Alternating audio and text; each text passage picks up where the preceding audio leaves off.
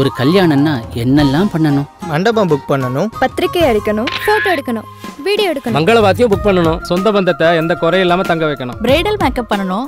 கல்யாண சடங்குகளை முறையா செய்யணும். வந்தவங்க வயிறார சாப்பிட்டு மனசார வாழ்த்தணும். இது எல்லாத்தையும் ஒரு குறையும் இல்லாம ஒருத்தவங்க பாத்துக்கோங்க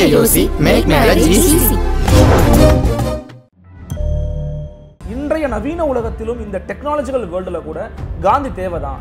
அப்படின்னு சொல்லணும் அப்படின்னா நீங்கள் எதற்காக காந்தி தேவைன்னு சொல்லுவீங்க? காந்தியை வந்து நம்ம நேரடியான வார்த்தைகள் வழியாக புரிஞ்சுக்க முடியாது. பல தலைவர்களுக்கு அப்படி இருக்கு. பெரியார் அப்படி சொல்லலாம். காந்தியுடைய கிராமம் நகரம் ரெண்டுமே என்ன அப்படின்னா அது ரெண்டுமே ஒரு குறியீடு. நம்முடைய தாத்தாட்ட அவருடைய கதைகளை கேட்க முடியுது. நேரடியாக பதிவு பண்ண விஷயங்களை நம்மளால் பார்க்க முடியும் இப்படி ஒரு மனிதரால் வாழ்ந்திருக்க முடியுது. இது வந்து அசாத்தியமான விஷயம் இல்லை. காந்தியை படிக்கக்கூடிய நமக்கு என்ன தோணுதுன்னா காந்தியாலே முடியும்? போது நம்மளால் முடியாதாங்கிற நம்பிக்கையை தான் திருப்பி திருப்பி அவர் உண்டாக்கு முற்படுறாங்க காந்தியம் அப்படிங்கிறதே ஒரு சித்தாந்தம் கிடையாது. அது வந்து அந்தந்த காலகட்டத்தினுடைய தேவையும் எல்லா காலத்திற்கும் நிலைத்திருக்கக்கூடிய சில விழுமியங்கள். காந்தி அவர்கள் இளைஞர்கள் மத்தியில் அதிகமாக கொண்டு போய் சேர்க்கப்படலைன்னு நீங்கள் நினைக்கிறீங்களா? காந்தி வந்து இளைஞர்கள்ட்ட கொண்டு சேர்க்கப்படவில்லை அப்படின்லாம் சொல்ல ஏன்னா அதை நீங்கள் ஏற்கலை. நான் ஏற்கனவே காந்தியை வந்து உள்ளடக்கமாக பார்க்கக்கூடிய ஒரு இளைஞருக்கு வந்து இங்கே இருக்கக்கூடிய கட்சிகள் வந்து தூரமாக தெரியுது அது அவருக்கும் காந்திக்குமான இடைவெளி இல்லை. காந்திக்கும் இன்றைய அரசியல் கட்சிகளுக்கும் இடையிலான இடைவெளி. ஆனா மிக முக்கியமாக தமிழகத்தையும் தமிழ் மொழியையும் தமிழர்களையும் ரொம்ப தோண கனெக்ட் பண்ணிக்கிட்ட நபர் திரு காந்தி அவர்கள். அப்படின்னும் போது தமிழ்நாட்டில் அதிகமான காந்தியவாதிகள் உருவாகலையே அப்படிங்கிற ஏக்கம் உங்களுக்கு? காந்திய இயக்கங்கள்ங்கிறது அப்படி அதாவது ஒரு திரட்சியான ஒரு வெளிப்பாடாக விள வரக்கூடிய ஒரு அமைப்பு அது இல்லை. இல்ல இப்ப என்னோட கேள்வி என்னன்னா அம்பேத்கரை ஏற்றுக்கொண்ட மேடைகளோ அம்பேத்கரை ஏற்றுக்கொண்ட கட்சிகளோ கூட முழுமையா அம்பேத்கரை பின்பற்றிட்டாங்களா? நம்ம அவங்களுடைய விமர்சனத்துக்கு இல்லை உட்படுத்தல. இல்லை முழு தாராளமாக பே அதை முழுமையாக பின்பற்றிட்டாங்கன்னு நான் சொல்லலை. யாரும் விமர்சனத்துக்கு அப்பாற்பட்டவர்களும் இல்லை. இப்போ உதாரணமாக வந்து பாரதிய ஜனதா கட்சி காந்தியை எடுத்துக்கிறது நம்முடைய பிரதமர் நரேந்திர மோடி காந்தி எடுத்துக்கிறாரா எடுத்துக்கிறாரு? எந்த இடத்துல அவர் வச்சுக்கிறாருன்னா அவர் ஸ்வச் பாரத்தோடைய ஐக்கான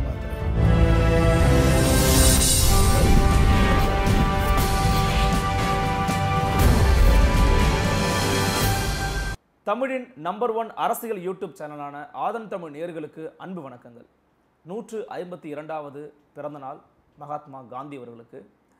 இன்றைய தினத்தில் பாரத விலாஸ் நிகழ்ச்சியில் நம்முடன் இணைந்திருக்கக்கூடிய சிறப்பு விருந்தினர் எழுத்தாளர் பத்திரிகையாளர் இரண்டாயிரத்தி பதினான்காம் ஆண்டு இந்திய நாடாளுமன்ற தேர்தலின் போது இந்தியா முழுவதும் பயணித்து மக்களின் மன ஓட்டத்தை தன்னுடைய பதிவாக எழுதி வெளியிட்டவர் மரியாதைக்குரிய திரு சமஸ் அவர்கள். வணக்கம் சார். தமிழகம் அளவில் எழுத்து உலகத்தில் காந்தியவாதியாக அறியப்படுபவர் திரு சமஸ் அவர்கள் அப்படிங்கிறது எல்லாருக்குமே தெரியும். அதனால் என்னுடைய முதல் கேள்வி அப்படிங்கிறது காந்தி இன்றைக்கும் தேவை. இன்றைய நவீன உலகத்திலும் இந்த டெக்னாலஜிக்கல் வேர்ல்டில் கூட காந்தி தேவை தான் அப்படின்னு சொல்லணும் அப்படின்னா நீங்கள் எதற்காக காந்தி தேவைன்னு சொல்லுவீங்க? அது நம்ம இந்த மாதிரி காந்தி தேவை அல்லது அவருடைய பொருத்தப்பாடு என்ன அப்படின்லாம் நம்ம வந்து ஒரு கேள்வி அல்லது ஒரு சிந்தனையை நம்ம ஆரம்பிக்கும் போது ஒரு விஷயம் நமக்கு அடிப்படையில் ஒன்றின் தேவை அப்படின்னு நம்ம பேசும்போது உதாரணமாக இப்போ செல்ஃபோன் வந்து நமக்கு தேவை அப்படின்னு நம்ம வச்சுக்கோம். நம்முடைய தேவையின் பொருட்டு அது தேவைன்னு நம்ம நினைக்கிறோமா? அல்லது செல்ஃபோனுடைய தேவையின் பொருட்டு நம்ம அதனுடைய தேவையை பேசுகிறோமா ரெண்டுமே இருக்குல்ல தொடர் அதில். இப்போ நமக்கும் இப்போ செல்ஃபோனை உற்பத்தி பண்ணக்கூடிய ஆட்கள் வந்து இந்த செல்ஃபோனை வந்து நீங்கள் வச்சுக்கோங்க அப்படின்னு சொல்கிறாங்க அப்படின்னு சொன்னால் அது அதனுடைய தேவையின் பொருட்டானது. அதில் வந்து ஒரு வணிகம் இருக்குது லாபம் இருக்குது நேரடியான பயனாடு இருக்காங்க இது எல்லாமே நமக்கு தெரியும். ஆனால் நாம் ஒரு விஷயம் மக்களுடைய குரல்லேருந்து இப்போ நீங்கள் நானும் பேசுகிறோம் காந்தி இருக்கிறாரா? கிடையாது. காந்தி இறந்து போயிட்டார். காந்தி இறந்து எழுபது வருஷத்துக்கு மேலே அப்போ இன்றைக்கி நாம் அவரை பற்றி நம்ம பேசும்போது காந்தியினுடைய தேவை இருக்குது இன்றைக்கி அப்படின்னு நம்ம பேசுகிறோம் அப்படின்னா நம்முடைய தேவையின் பொருட்டு நம்ம பேசுகிறோம் அதுக்கு பொருத்தப்பாடு இருக்குதா? இன்றைய இன்னைய கால சூழலுக்கு காந்திக்கு பொருத்தப்பாடு இருக்குதா அப்படின்னு கேட்குறத என்னுடைய நண்பர் மரியாதைக்குரிய அண்ணாமலை அவர்கள் காந்தியார் தேசிய காந்தி அருங்காட்சியகத்தினுடைய இயக்குனர். அவர் இதுக்கு அழகாக பதில் சொல்வார். என்ன சொல்வார் அப்படின்னா காந்திக்கு இன்றைய காலகட்டத்தில் பொருத்தப்பாடு இருக்குதா? தேவை இருக்குதா? அப்படிங்கிற கேள்வியை இதற்கான பதிலாக வந்து நம்ம வந்து தேடி போகிறத விடவும் இன்னொரு கேள்வி வழியாக இதற்கான பதிலை நாம் தெளிவாக தேடிக்க முடியும் அப்படின்னு சொல்லுவார் இன்னொரு கேள்வி என்ன அப்படின்னா நம்முடைய வாழ்க்கை இன்றைய கால சூழலுக்கு பொருத்தப்பாடு உடையதாக இருக்குதா? நம்முடைய வாழ்க்கை அப்படின்னு சொல்கிறது கொஞ்சம் விஸ்தரிச்சுக்கும் நம்முடைய தனிப்பட்ட வாழ்க்கை நம்முடைய தனிப்பட்ட நுகர்வுகள் நம்முடைய தனிப்பட்ட உறவுகள் சமூக உறவு குடும்ப உறவு இதில் ஆரம்பித்து நம்முடைய ஆட்சி முறை நம்முடைய பொருளாதார கொள்கை உலகத்தினுடைய பார்வை வளர்ச்சின்னா நம்ம முன்னேற்றம்னா என்னன்னு பார்க்குறோம். இது எல்லாத்தையும் ஒட்டுமொத்தமாக தொகுத்து பார்ப்போம். இது வந்து இந்த உலகத்தோடு இந்த இயற்கையோடு நாம் இயற்கைன்னு நம்பக்கூடிய அம்சங்களோடு பொருத்தப்பாடு உடையதாக இருக்குதா? நம்முடைய போக்குங்கிறது பொருத்தப்பாடு உடையதாக இருக்குதா? பிரச்சனைக்குரியதாக இல்லாமல் இருக்குதா? இல்லைங்கிறது எல்லாருக்குமே தெரியுது.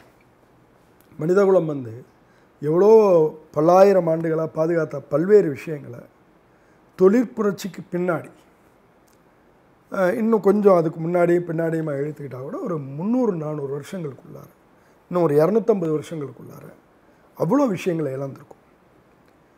எல்லா வளங்களையும் இழந்துக்கிட்டு இருக்கும் சூழலை ரொம்ப மாசுபடுத்தியிருக்கும். எவ்வளவுக்கு எவ்வளோ மாசுபடுத்தணுமோ.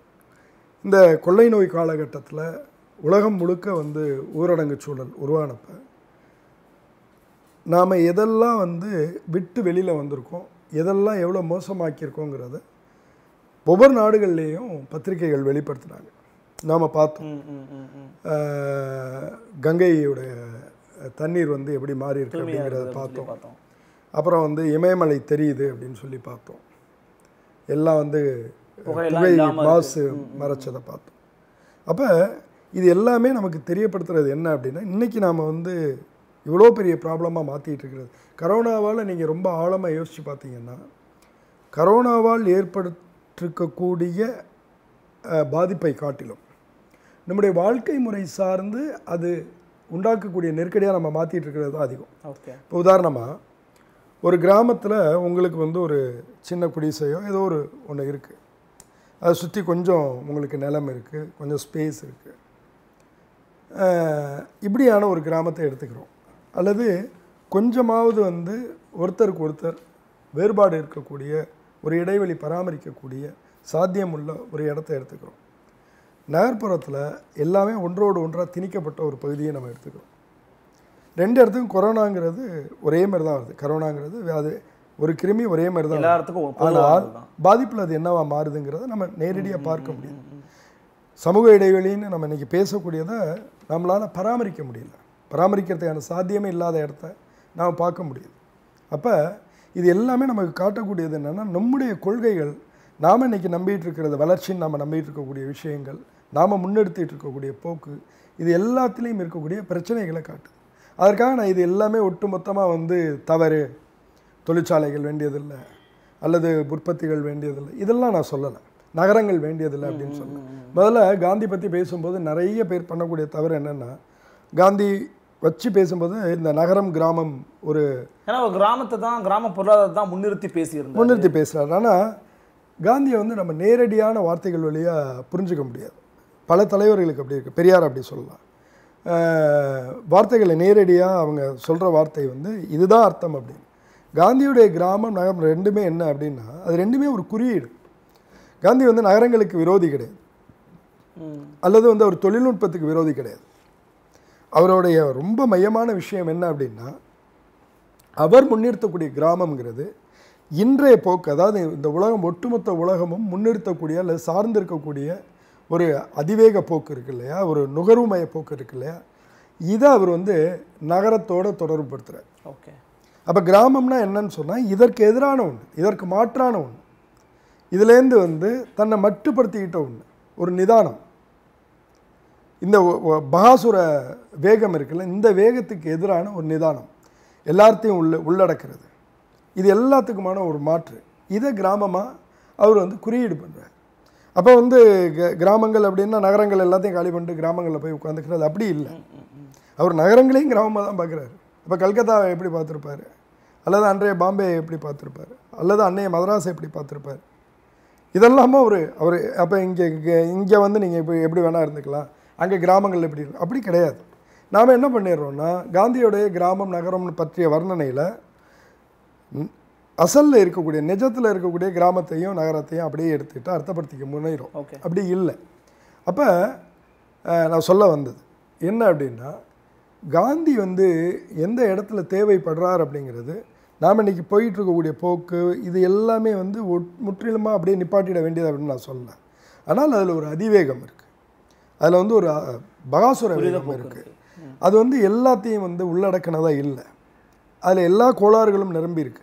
அப்போ அந்த கோளாறுகள் எல்லாத்தையும் நம்ம பரிசீலனை பண்ணுறதுக்கும் இந்த போக்கை எங்கேயோ நம்ம நிதானப்படுத்துறதுக்கும் நமக்கு சில மாற்று விஷயங்கள் தேவைப்படுது இல்லையா? அந்த மாற்றுங்கிறத யார் நமக்கு மாற்ற சொல்லிடுறாங்க. புத்தர்லேருந்து சொல்லிட்டு தான் இருக்காங்க. எல்லாருமே சொல்லிட்டு இருக்காங்க இயேசு சொல்லியிருக்காரு நபிகள் சொல்லியிருக்காரு புத்தர் சொல்லியிருக்காரு. இன்னும் எவ்வளோ சிந்தனையாளர்கள் சொல்லிகிட்டே தான் இருக்காங்க காலகாலமாக சொல்லிகிட்டே தான் இருக்காங்க வெவ்வேறு விஷயத்தில் மாற்ற அவங்க முன்னிறுத்துறாங்க ஆனால் நம்ம கண்ணுக்கு முன்னாடி ஒரு ஆள் வாழ்ந்தால் நம்முடைய நினைவுகளில் நினைவுகளில் நம்மளுடைய நினைவுனா இன்றைக்கி வந்து நம்ம காந்தியை பார்க்க முடியாமல் இருக்கலாம். ஆனால் சபர்மதிக்கு போக முடியுது நம்மளால். அவர் உயிர் விட்ட பிர்லா மாளிகைக்கு போக முடியுது. நம்முடைய தாத்தாட்ட அவருடைய கதைகளை கேட்க முடியுது. நேரடியாக பதிவு பண்ண விஷயங்களை நம்மளால் பார்க்க முடியுது. இப்படி ஒரு மனிதரால் வாழ்ந்திருக்க முடியுது? இது வந்து அசாத்தியமான விஷயம் இல்லை அப்படிங்கிற நம்பிக்கையை அவர் நமக்கு தரார். ரெண்டாவது விஷயம் என்னென்னா காந்தி வந்து தன்னை வந்து ஒரு அவர் அவருடைய ஒட்டுமொத்த வரலாற்றையும் பார்க்கும்போது ஒரு சாமானியனுக்கு ஏற்படக்கூடிய நம்பிக்கை என்னவாக இருக்கும் அப்படின்னு சொன்னால் காந்தி என்கிற ஒரு ஆளுமை வந்து அசாத்தியமானவர் இல்லை. ஏதோ அற்புதமான சக்திகளோடு பிறந்தவர் அல்ல நம்மள மாரி தான் ஒரு ஆள். சாதாரண மனிதர் நம்மள சாதா நம்மள மாரி தான் ம், ம். சாதாரண ஆள். ஸ்கூலில் அவர் எப்படி இருந்தார்? பள்ளிக்கூடங்களில் எப்படி இருந்தார்? பள்ளிக்கூடத்தில் ரொம்ப சராசரியான மாணவர். ரொம்ப ம மதிப்பெண்கள் அள்ளி குவிச்ச ஒரு மனிதர் கிடையாது. சராசரியான மாணவர். சரி அவர் தொழிலில் பயங்கர சூரராக இருந்தார். வழக்கறிஞராக போய் முத முதல்ல போகும்போது நீதிமன்றத்துடைய சூழலை பார்த்து மயங்கி விழுகிற அளவுக்கான ஒரு தயக்கமும் தாழ்வுணர்வும் கூட இருந்த ஒரு மனிதர் அப்படின்னு சொல்லலாம். அப்போ எல்லா விதத்துலேயும் ஒரு சராசரி அல்லது சராசரிக்கும் கீழே உள்ள மனிதர் தன்னை வந்து படிப்படியை படிப்படியாக வந்து மேம்படுத்திக்கிட்டு வரக்கூடிய ஒரு மனிதர் தன்னை வாழ்நாள் முழுவதுமாக மாணவர் என்கிற நிலையிலே வைத்து கொண்டிருந்த ஒரு மனிதர் தன்னுடைய ஒவ்வொரு செயற்பாட்டையும் சந்தேகத்தோடு பார்த்த ஒரு மனிதர் தன்னுடைய தோல்விகளுக்கு சர்க்கல்களுக்கு ஒட்டுமொத்த சர்க்கல்களுக்கு கூட தன்னை வந்து அதற்கு வந்து ஆத்ம பரிசோதனைக்கு உள்ளாக்கி கொண்ட ஒரு மனிதர். அப்போ காந்தியை படிக்கக்கூடிய நமக்கு என்ன தோணுதுன்னா காந்தியாலே முடியும் போது நம்மளால் முடியாதாங்கிற நம்பிக்கையை தான் திருப்பி திருப்பி அவருக்கு உண்டாக்கு முற்படுறார். நம்ம மகாத்மா அப்படின்னு சொல்லும்போது காந்தியை வந்து தள்ளி வச்சிடறோம் நம்ம. தள்ளி வைக்கிறதுல வந்து பெரிய புத்திசாலித்தனம் இருக்குது அவர்லாம் மகாத்மா அவருக்கு தான் செய்ய முடியும் நம்மளால் முடியாது அப்படி. அப்படி இல்லை. அப்புறம் காந்தியினுடைய கொள்கை அப்படிங்கும்போது அது எல்லாமே வந்து நம்ம வந்து இது திரும்பவும் நான் சொல்கிறேன் அதை வார்த்தைகளை பிடிச்சிட்டு நிற்கிறது இல்லை காந்தியம் அப்படிங்கிறதே ஒரு சித்தாந்தம் கிடையாது அது. அது வந்து அந்தந்த காலகட்டத்தினுடைய தேவையையும் எல்லா காலத்திற்கும் நிலைத்திருக்கக்கூடிய சில விழுமியங்களை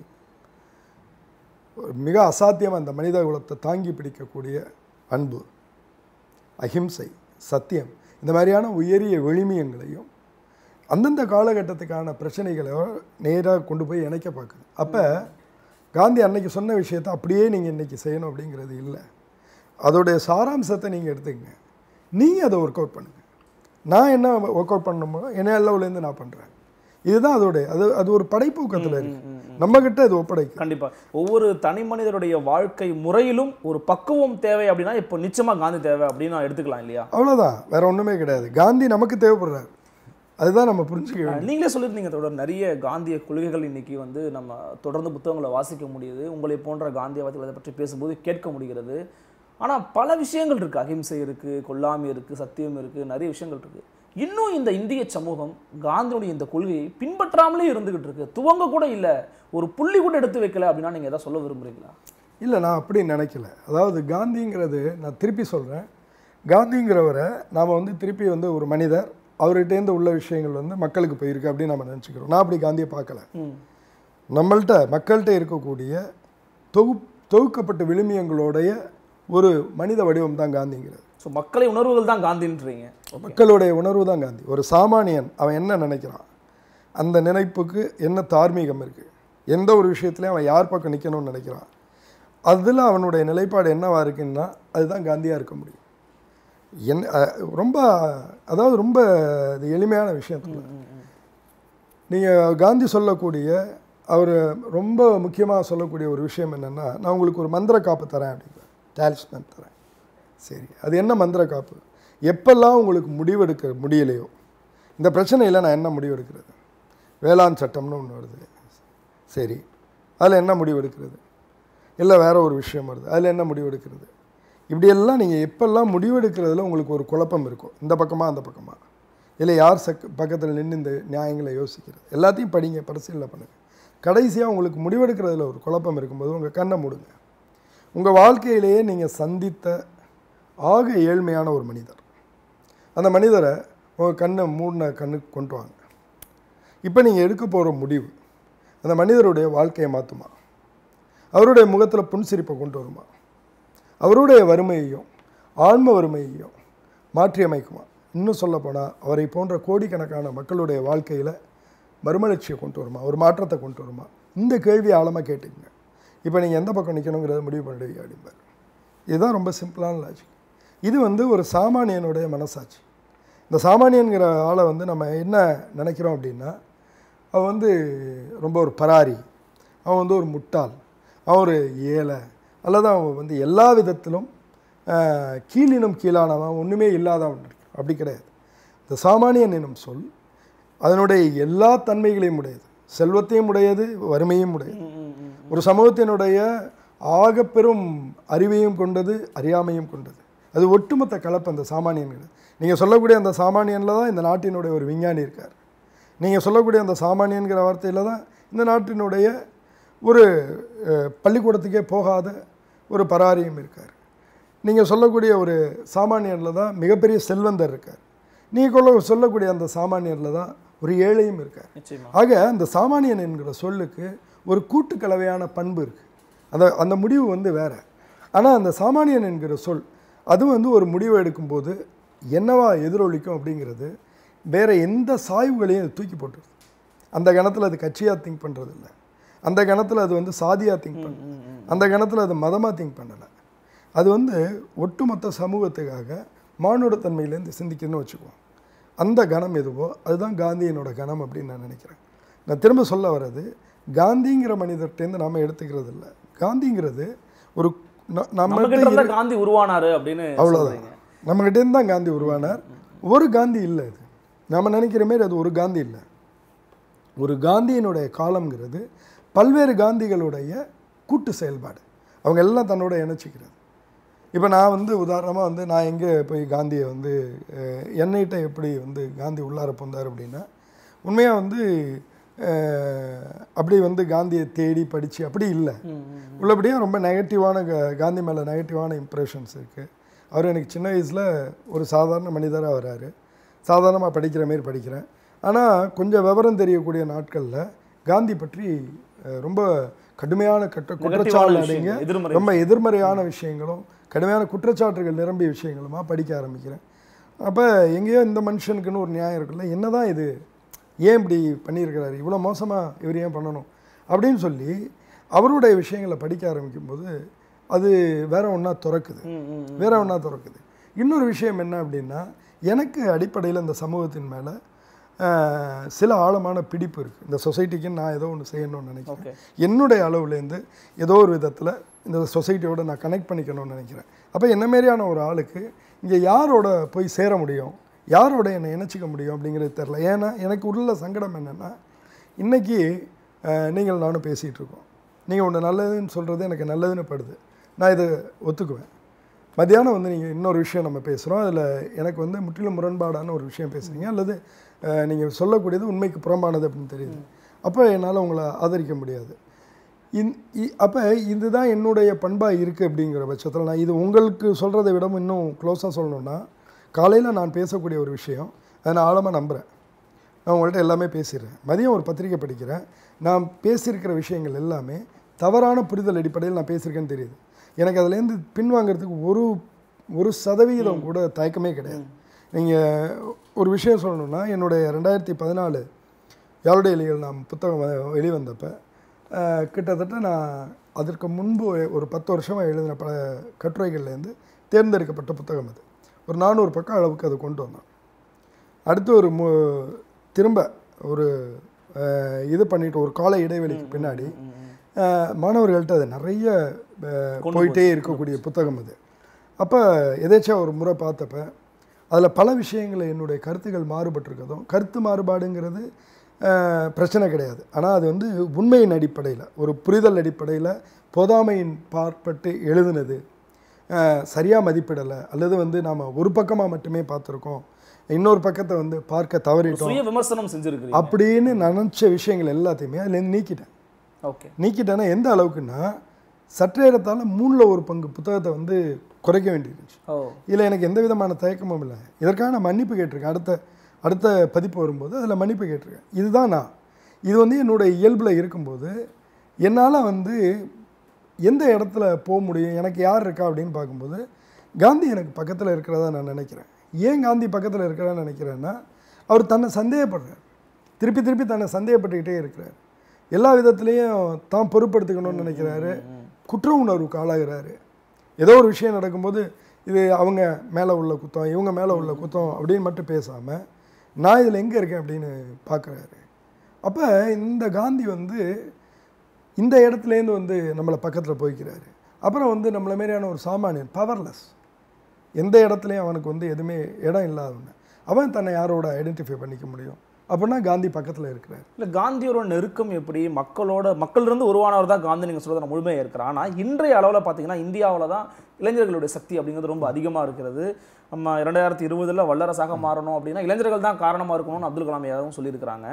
ஆனால் காந்தி அவர்கள் இளைஞர்கள் மத்தியில் அதிகமாக கொண்டு போய் சேர்க்கப்படலைன்னு நீங்கள் நினைக்கிறீங்களா? அப்படி இருந்துச்சுன்னா அது ஏன்? இல்லை காந்தி வந்து இளைஞர்கள்ட்ட கொண்டு சேர்க்கப்படவில்லை அப்படின்லாம் சொல்ல மாட்டேன். ஏன்னா ஏற்கல. நான் ஏற்கலை அதெல்லாம் ஏற்கலை. அதாவது எப்போதுமே எந்த தத்துவமுமே கொண்டு போய் சேர்க்கப்படுறதுங்கிறதெல்லாம் நிலைத்திருக்கும் அப்படின்னு நான் நம்புகிற ஆள் இல்லை. இது எல்லாமே வந்து ஒரு ஒரு பெரும் சூழல் இது. இது நம்ம காலம்னு எடுத்துக்கிட்டோம்னா ஒரு பெரிய அலை வந்து வேகமாக ஓடிக்கிட்டே இருக்கிற மாதிரி அதில் வந்து இந்த பீரியடில் என்னவா இருக்குது செல்வாக்கு செலுத்துதா இல்லையா? அது என்னவா வந்து விளையுது அப்படிங்கிறது வந்து நமக்கு நேரடியாக தெரியக்கூடியது கிடையாது. ரொம்ப மிக முக்கியமாக நீங்கள் இங்கே கவனிக்கக்கூடிய விஷயம் என்ன அப்படின்னா இன்றைக்கி வந்து பகத்சிங்கோட தன்னை கனெக்ட் பண்ணிக்கக்கூடிய ஒரு இளைஞர் இருக்கார். அரசியல் ரீதியாக வந்து அவர் தன்னை நேரடியாக ஒரு கட்சியின் பார்ப்பட்டு அந்த க- கட்சிக்கு கட்சி அடையாளத்தோட அதை வெளிப்படுத்துறதுக்கான ஒரு இடம் அவர் இருக்கிறதா நினைக்கிறார் தார்மீகமாக உதாரணமாக வந்து சேகுவாராவோட தன்னை வந்து பொருத்தி கொள்ளக்கூடிய ஒரு இளைஞர் அப்படி பார்க்கக்கூடிய ஒரு இளைஞருக்கோ அல்லது பகத்சிங்கோட தன்னை பொருத்தி பார்த்து கொள்ளக்கூடிய ஒரு இளைஞருக்கோ மார்க்சிஸ்ட் கட்சி வந்து பொருத்தமாக இருக்குது அப்படின்னு சொல்லி அவர் நினைக்கலாம். மார்க்சிஸ்ட் கட்சி அதற்கான இடம் கொடுக்கக்கூடிய ஒன்றா இருக்கலாம். ஆனால் இன்னைக்கு காந்தியை வந்து அப்படி வந்து உள்ளடக்கமாக பார்க்கக்கூடிய ஒரு இளைஞருக்கு வந்து இங்கே இருக்கக்கூடிய கட்சிகள் வந்து தூரமாக தெரியுது.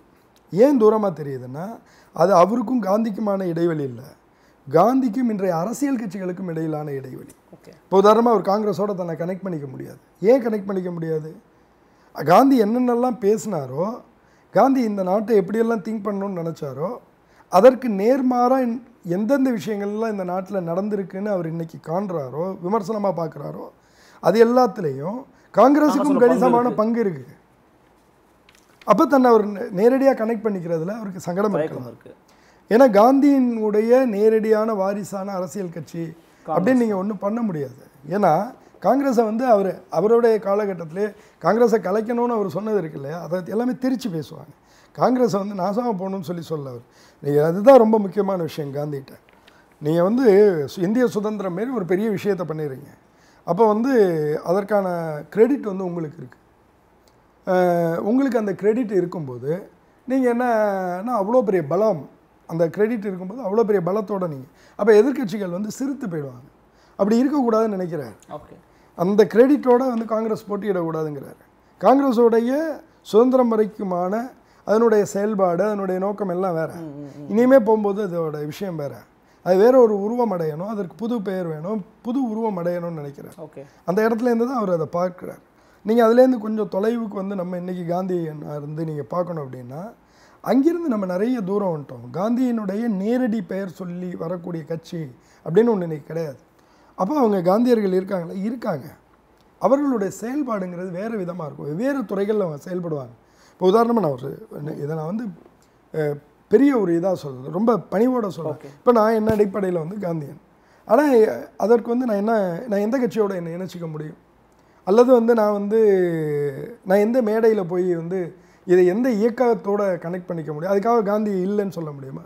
நான் என்னுடைய வாழ்க்கையில் என்னுடைய வரையறைக்கு உட்பட்டு என்ன எந்த அளவுக்கு வந்து எனக்கு சாத்தியமாகுதோ அந்த அளவுக்கு. அது வந்து காந்தி ஆயிரம் பண்ணினார் அப்படின்னா நான் செய்கிற ஒரே ஒரு சதவீதமாக இருக்கலாம். ஆனால் நான் சொல்ல வர்றது அந்த ஒரு வரையறைக்கு உட்பட்டு என்னுடைய ஒழுங்குகளை நான் பராமரிச்சுக்கிறேன். நான் அவர் மேலே அவர் அவ்வளோ வழி நடத்துகிறார் என்ன? எல்லா விஷயங்களையும் அவ்வளோ வழி நடத்துகிறார் ஆனால் நான் இதை இதை வந்து எப்படி வெளிப்பாட்டு முறையில் பண்ணுறது இதை ஒரு இயக்கமாக அப்படி வந்து இப்போ அம்பேத்கர் இயக்கங்கள் இருக்குது பெரியார் இயக்கங்கள் இருக்குன்னா இது எல்லாத்துக்குமே அரசியல் வடிவிலான நேரடியான நீட்சி இருக்குது காங்கிரஸ் வந்து தன்னை அப்படி சொல்லிக்கலாம். நாங்கள் நீச்சி அப்படின்னு சொல்லிக்கலாம். ஆனால் அதற்கான தார்மீகத்தை அவங்க எங்கேயோ இழந்துட்டாங்க. வேற சப்பா பாக்கி எல்லா கட்சியும் வந்து அப்படியே கடைபிடிக்கிறாங்களா அப்படின்னா அப்படியே கடைபிடிக்காமல் இருக்கலாம். ஆனால் ஏதோ ஒரு விதத்தில் ஃபண்டமெண்டலான சில விஷயங்களை வந்து விட்டுடாமல் இருக்காங்க. காங்கிரஸ் வந்து அடிப்படையான அம்சங்களே பல விஷயங்களில் காந்திகிட்டேருந்து வெளியில் வந்துருச்சு. அதுதான் அதோடைய அதோடைய மிக முக்கியமான இல்லை இப்போ நீங்கள் சொல்கிறீங்க இப்போ பெரியாரிஸ்டுகள் இருக்கிறாங்க இடதுசாரிகள் இருக்கிறாங்க அப்படின்லாம் நீங்கள் சொல்கிறீங்க நீங்களும் ஒரு காந்தியவாதி இப்போ எங்களால் எங்களை போன்ற ஊடகங்களால் அறியப்படுறீங்க அப்படின்னும் போது பெரியாரிஸ்டுகள் உருவாவதற்கு தமிழகத்தில் இடம் இருந்திருக்குது. ஏன்னா மிக முக்கியமாக தமிழகத்தையும் தமிழ் மொழியையும் தமிழர்களையும் ரொம்ப தன்னோட கனெக்ட் பண்ணிக்கிட்ட நபர் திரு காந்தி அவர்கள். அப்படின்னும் போது தமிழ்நாட்டில் அதிகமான காந்தியவாதிகள் உருவாகலையே அப்படிங்கிற ஏக்கம் உங்களுக்கு இல்லையே? ஏன்னா பெரியாரிஸ்டுகள் நிறைய பேர் இருக்காங்க. அம்பேத்கர்ஸ்களும் நிறைய பேர் இருக்காங்க இடதுசாரிகள் நிறைய பேர் இருக்காங்க தமிழ் தேசம்னு புதிய கருத்தில் பேசுறவங்களாம் வந்திருக்காங்க. ஆனா காந்தியவாதிகள் இல்லையே ஏன்? இல்லை காந்தியவாதிகள் இல்லைங்கிறது தான் நான் மறுக்கிறேன். அதுதான் நான் சொல்கிறேன் இப்போ நான் இல்ல வெளியே தெரியப்படுறது இல்லையா இல்லை தெரியப்படுறதில்ல. அப்படி இல்லை. அதுதான் நான் சொல்கிறேன் வெளியில் வந்து பார்வைக்கு அது தொகுப்பாக தெரியாது அப்படின்னு சொல்ல வரேன். இப்போ ஒரு அம்பேத்கரியராக நான் இருக்கும்போது எனக்கு நேரடியாக போய் ஏறுறதுக்கான மேடை இருக்குது களங்கள் இருக்குது அடையாளப்படுத்திக்கிறதுக்கான இயக்கங்கள் இருக்குது காந்திய இயக்கங்கள்ங்கிறது அப்படி அதாவது ஒரு ஒரு திரட்சியான ஒரு வெளிப்பாடாக விள வரக்கூடிய ஒரு அமைப்பாக அது இல்லை. இல்ல இப்ப என்னோட கேள்வி என்னன்னா அம்பேத்கரை ஏற்றுக்கொண்ட மேடைகளோ அம்பேத்கரை ஏற்றுக்கொண்ட கட்சிகளோ கூட முழுமையா அம்பேத்கரை பின்பற்றிட்டாங்களா? நம்ம அவங்களே விமர்சனத்துக்கு இல்லை உட்படுத்தல. இல்லை முழு தாராளமாக பே முழுமையாக பின்பற்றிட்டாங்கன்னு நான் சொல்லலை. யாரும் விமர்சனத்துக்கு அப்பாற்பட்டவர்கள் இல்லை. நான் சொல்லக்கூடியது என்னன்னு சொன்னால் அரசியல் ரீதியாக நேரடியாக காந்தியை பிரதிபலிக்கக்கூடிய பிரதிநிதித்துவப்படுத்தக்கூடிய முழுமையான தொடர்ச்சியான இயக்கம் அப்படின்னு சொல்லி ஒன்று இல்லை. அதை நம்ம கணக்கில் எடுத்துக்கணும். அதுக்கு அதுக்கு வந்து ரொம்ப மிக முக்கியமான விஷயம் இருக்குது பெரியாரை இப்போ நம்ம ஒப்பிடுறோம். பெரியார் வந்து வாக்கரசியலில் போகலனாலும் நேரடியான வாரிசாக வந்து திமுகங்கிறது உருவாகுது. அது வந்து நேரடியாக அதற்காக வந்து திக பணியாற்றுது. இன்னும் சொல்லப்போனால் திமுக செல்வதற்கான அந்த பாதையை சீ- சீரமைக்கக்கூடிய முன்கூட்டி செல்லக்கூடிய ஏற்பாட்டு படையாக நாங்கள் செயல்படுவோம்னு சொல்லி அன்னைக்கும் பெரியார் சொல்கிறாரு திகாவுடைய இன்னைய தலைவர்களும் அதை சொல்கிறாங்க அந்த அளவுக்கான நேரடியான கனெக்ஷன் இருக்குது அது திராவிட கட்சிகள் திகாவுக்கு திக வந்து திமுகவுக்கு அதை செஞ்சுருக்கு அதிமுகவுக்கு. செஞ்சுருக்கு. ஸோ அது நேரடியான கனெக்ஷனில் இருக்குது ஆனால் இங்கே காந்தி மறைவுக்கு பிறகு காங்கிரஸ் ஒரு பக்கம் போகுது. இன்னொரு பக்கம் காந்தியர்கள் தீவிரமான காந்தியர்கள் எல்லாருமே ஒவ்வொரு நிலையில் இப்போ ஜெயபிரகாஷ் நாராயணன் எடுத்துக்கங்க அல்லது வந்து நீங்கள் ஒவ்வொரு ஆளாக எடுத்துக்கங்க இவர்கள் எல்லாருமே செயல்பட்டிருக்காங்களான்னா செயல்பட்டிருக்காங்க. மிக முக்கியமான பணியாற்றியிருக்காங்களான்னா ஆற்றியிருக்காங்க. நான் திருப்பி சொல்ல வரேன் அது படைப்பூக்கத்தினால வெவ்வேறு விஷயங்கள் அது எடுத்துக்கிட்டே போகுது. காந்தி அது- அதுதான் நான் சொல்கிறேன் நீங்கள் காந்தியத்தை வந்து அவ்வளோ திட்டவட்டமாக அதை வரையறுத்து பர்டிகுலர் பவுண்டரிக்குள்ள அடைக்க முடியாது அடைக்க முடியாதுங்கிறதே கூட அதனுடைய வெளிப்பாடு வந்து கண்ணுக்கு தெரியாததுக்கான மிக முக்கியமான காரணம் அப்படின்னு பரவலா நான் இருக்கு. பரவாயில்ல இருக்கு. இப்போ உதாரணமாக நான் சொல்கிறேனே இப்போ நீங்கள் வந்து தமிழ்நாட்டில் வந்து எப்போதுமே பேசும்போது என்னுடைய ஆசிரியர்களில் ஒருத்தர் ஒரு வாட்டி பேசிகிட்டு இருக்கும்போது பேசிகிட்டு இருந்தார் தமிழ்நாட்டிலே பெரிய கட்சி அது. அதிமுக அப்படின்னு சொல்கிறாங்க ஒரு ஆசிரியர் குழு கூட்டங்கள். தினமணியில் ஒரு மீட்டிங்கில் நடக்கும்போது என்னுடைய அன்றைய ஆசிரியர் திரு வைத்தியநாதன் சார். இரண்டாவது பெரிய கட்சி எது அப்படின்னு. திமுக அப்படின்னு சொல்லி சொல்லியிருக்காங்க அப்போ மூணாவது பெரிய சக்தி எதுன்னு நினைக்கிறீங்க அப்படின்னு அவர் கேட்குறாங்க அவங்க வந்து தேமுதிக. சரி அப்போ நாலாவதாக எது இருக்குது அப்போ நான் கம்யூனிஸ்ட் இப்படின்னு வரிசையாக போயிட்டாங்க. அறிவு கொஞ்சம் நாள் எல்லாத்தையும் கேட்டப்ப கேட்டார். அப்போ காங்கிரஸோடைய இடம் என்னன்னு நினைக்கிறீங்க அப்படின்னா இப்படி எல்லாம் பார்த்துட்டு இருந்தாங்க. எவ்வளவு நீங்கள் காங்கிரஸை வந்து ஐம்பது வருஷம் ஆகுது அது ஆட்சியிலேருந்து தூக்கி எறியப்பட்டு என்ன ஆச்சு ஏதாச்சுங்கிறதெல்லாம் வேறு ஆனால் இன்றைக்கும் வந்து தமிழ்நாட்டினுடைய எந்த குக்கிராமத்துக்கு போனீங்கனாலும் காங்கிரஸ்காரர்னு ஒருத்தர் இருக்கார். கண்டிப்பா ஒருத்தர் இருப்பார். அந்த தொகு ஒரு சட்டமன்ற தொகுதிக்குன்னு அதற்குன்னு சில ஆயிரம் ஓட்டுகள் இருக்குது சில தொகுதிகள்லாம் பெரிய அளவிலான ஓட்டு வங்கி இருக்குது இருபதாயிரம் ஓட்டு இருக்கிற கூடிய இடங்கள்லாம் இடம் இருக்கு இருக்கு. நீங்கள் அதுக்கு யார் தலைவராக இருக்காங்க? அது வந்து அவங்க வேலை பண்ணுறாங்களா இல்லை அதெல்லாம் ஒன்றுமே கிடையாது. இன்றைக்கி வந்து நீங்கள் வந்து இன்றைக்கி தேமுதிக வந்து பெரிய கட்சியா காங்கிரஸ் பெரிய கட்சியானா தமிழ்நாட்டில் நீ தேமுதிக பெரிய கட்சி இல்லை. காங்கிரஸ் தான் பெரிய கட்சி. இது ரெண்டில். புரியுது. இல்லையா? நீங்கள் இன்றைக்கி மூணாவது இடத்துல வந்து மூணாவது இடம்ங்கிறது வெவ்வேறு காலகட்டத்தில் ஒரு காலகட்டத்தில் மதிமுக வந்து ஒரு சுழற்சி உண்டு பண்ணிட்டு போயிருக்கு. தேமுதிக வந்து ஒரு சுழற்சி உண்டு போயிருக்கு. ஆனால் நீங்கள் காங்கிரஸினுடைய வாக்குகள் தேஞ்சிருக்கலாமே தவிர அதனுடைய வாக்கு வங்கிங்கிறது தெரியுது. ஆனால் இது பொது புத்தியில் வந்து பிரதிபலிக்குமா? அல்லது பொதுவாக வந்து அவங்க வந்து ஒரு ஃபோர்ஸாக தெரியுறாங்களான்னா தெரிய மாட்டாங்க அதனால தான் காந்தியும் அப்படின்னு எடுத்துக்கலாம். ஆமாம் அதே போல தான் காந்தியம். நான் சொல்ல வர்றது என்னென்னா காந்தியினுடைய தன்மைங்கிறது வெவ்வேறு லேயரில் அது ஒர்க் ஆகக்கூடியது. ரொம்ப முக்கியமாக என்னென்னா காந்தியத்தில் அதுதான் கூறான அம்சம். ஒரு காந்தியர் ஒரு துறையில் வேலை பண்ணும்போது அவர் அங்கே என்ன பண்ணுறாரு அப்படின்னா அந்த துறையில் தான் பண்ணக்கூடிய வேலை என்ன அப்படிங்கிறது அவருக்கு தெரியுது. அதிலே வந்து ஆயிரத்தெட்டு வேலை இருக்குங்கிறது தெரியுது. இதுவே எனக்கு போதுமான பெரிய வேலை செய்ய வேண்டிய களம் அப்படின்னு தெரியுது. அவர் அங்கே ஆழமாக உள்ளார போயிடுவார். அவருக்கு அதை ஒட்டி என்னென்ன செய் காரியங்கள் செய்யணுமோ அதில் பங்களிச்சுட்டு அப்படியே போயிட்டே இருப்பார். அது வந்து நமக்கு பொதுத்தளத்தில் ஒருங்கிணைந்து தெரியப்படுறதில்ல. அப்புறம் வந்து நான் திரும்ப சொல்லக்கூடிய விஷயம் காந்தியருங்கிற வடிவம் இருக்கு இல்லையா? அது வந்து இப்போ திட்டவட்டமாக வரையறுக்கக்கூடியது கிடையாது. இப்போ நீங்கள் என்ன காந்தியருங்கிறீங்க. இன்னொரு பக்கம் தமிழறிவமணியன் தமிழ்நாடு முழுக்க அறியப்பட்ட மக்கள் காந்திய மக்கள் இயக்கம் வச்சுருக்காரு காந்தியர்னு சொல்லுவார் இப்போ நானும் தமிழறிவு மணியம்னு இருக்கோம். நீங்கள் ஒரு பத்து விவகாரங்கள் சமகால பிரச்சனைகளை பேசுகிறீங்க ரெண்டு பேரும் விவாதிக்கிறோம். ரெண்டு பேரோட கருத்தும் கேட்குறீங்க பத்தில் ஒரு ஏழு விவ ஏழு விஷயங்களில் வந்து ரெண்டு பேரும் மாறுபட்ட நிலைப்பாடுகளை கொண்டு இருக்கலாம் இதை பார்க்கக்கூடிய ஒருத்தர் என்ன கேள்வி கேட்கலாம்? ரெண்டு பேரும் காந்தியர்னு தானே சொல்கிறாங்க இவங்க எப்படி ம- முரண்பட்ட கொள்கை இருக்குது தாராளமாக கேட்கலாம். கேட்கலாம். இந்த அளவுக்கான முரண்பாடு வந்து வேற யாருக்கும் அதாவது காந்தி வந்து எல்லாராலையும் எடுத்துக்கொள்ளப்படுவதாலேயே எல்லாராலையும் எடுத்துக்கொள்ளப்படுவதாலேயே எல்லாராலையும் என்ன சொல்கிறது அவர் அவர் வந்து வெவ்வேறு விதமாக அர்த்த அர்த்தம் கொள்ளவும் படுறார். எல்லாராலையும் பிறந்துவிட முடியாது காந்தி. ஆனா ஆமா. எல்லாருமே எடுத்துப்பாங்க. எல்லாமே எடுத்துக்கிறாங்க. ஆனால் எந்த அளவில் எடுத்துக்கிறாங்கங்கிறது இருக்குல்ல. இப்போ இப்போ உதாரணமாக வந்து பாரதிய ஜனதா கட்சி காந்தியை எடுத்துக்குது. எடுத்துக்கலன்னு சொல்ல முடியாது. நம்முடைய பிரதமர் நரேந்திர மோடி காந்தி எடுத்துக்கிறாரா? எடுத்துக்கிறாரு. எந்த இடத்துல அவர் வச்சுக்கிறாருன்னா அவர் ஸ்வச் பாரத்தோடைய ஐக்கானாக மாத்துறாரு. தூய்மை இந்தியாவினுடைய பிரதிநிதியா காந்தி அப்படின்னு சொல்கிறார் அப்போ அந்த இடத்துல அவங்களுக்கு இருக்காங்க அப்போ வந்து அவர் தன்னை வந்து காந்தியனுடைய ஒரு ஃபாலோயர் அப்படின்னு சொல்லிட்டு பாக்கி எல்லா விஷயத்துலையும் அவர் சொல்கிறது சரி அப்படின்னு சொல்ல முடியுமா? அதுதான் காந்திய கொள்கைன்னு சொல்ல முடியும் அப்படியான பிளவுகள்லாம் இங்கே இருக்குது ஏகப்பட்ட விஷயங்கள் இருக்கு. நிச்சயமா ஒரு ஒரு மிக நீண்ட ஒரு உரையாடல் இருந்தது. விவாதத்தின் மூலமாகத்தான் உரையாடல் மூலமாகத்தான் காந்தி அப்படிங்கிற ஒரு உருவமே வந்து சமூகத்தில் உருவெடுத்திருக்கிறார் அப்படிங்கிறத பார்க்க முடிகிறது. என்னதான் காந்தியோட பல இடங்களும் முரண்பட்டிருந்தாலுமே கூட பெரியார் கூட அவர் இறந்த பிறகு இந்த தேசத்திற்கு காந்தி தேசம்னு பேர் வைங்க அப்படின்னு சொன்னதை நம்மளால பார்க்க முடிகிறது. அந்த அடிப்படையில் காந்தி ஜெயந்தி அன்னைக்கு அவரை பற்றிய பல முக்கியமான விழுமியங்களை பற்றி பேசியதற்கும் எங்களுடைய அழைப்பினை ஏற்று உடனடியாக வருகை தந்து உங்களுடைய கருத்தினை பேசுவதற்கும் மிக்க நன்றி. மிக்க நன்றி. நன்றி நண்பர்களே மீண்டும் ஒரு பாரத விலாஸ் நிகழ்ச்சியில் மற்றும் ஒரு தலைப்பில் மற்றும் ஒரு ஆளுநர் சந்திக்கிறேன். அதுவரை உங்களிடமிருந்து விடைபெறுவது உங்கள் அருள்மொழிவர்மன். இணைந்திருங்கள் இது உங்கள் ஆதன்.